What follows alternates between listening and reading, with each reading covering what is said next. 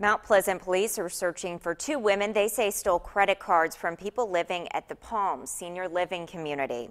Police say these two women used stolen cards to make several purchases around the Mount Pleasant and the Charleston areas.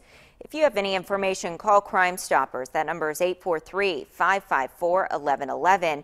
There is a reward of up to $1,000 for anyone who provides information that leads to an arrest.